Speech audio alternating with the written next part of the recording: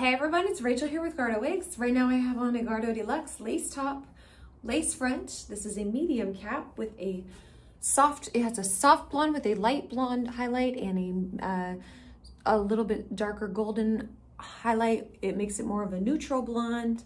Uh, it has a, su a subtle shadow root with transparent knots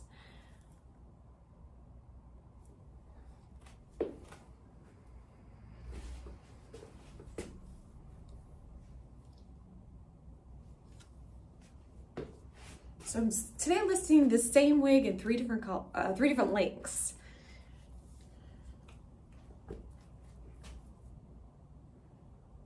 Um, about a level nine shadow root, closed wefting with adjustable straps, ear tabs with clips, and a lace top, lace front.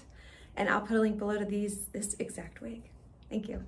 Oh, again, this is a medium cap.